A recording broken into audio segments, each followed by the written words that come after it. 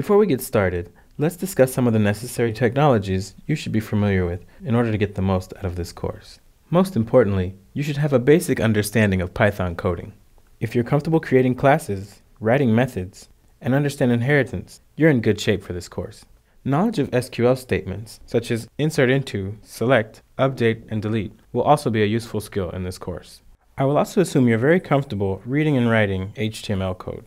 CSS and JavaScript won't be necessary to complete the activities, but are helpful for creating a polished, presentable final project.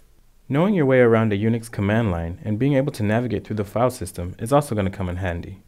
If you are unfamiliar or would like to brush up on any of these topics, please refer to the instructor notes for some helpful links to classes and other references. For ease of configuration and installation, I strongly recommend using a Vagrant machine for this course. Vagrant allows you to create a virtual machine on your computer so that you can program without worrying about affecting your computer's current configuration. I have provided you a Vagrant file with all of the necessary software already installed. A link to installing this Vagrant file is provided in the instructor notes. Once you successfully run Vagrant Up and Vagrant SSH, you're ready to keep going.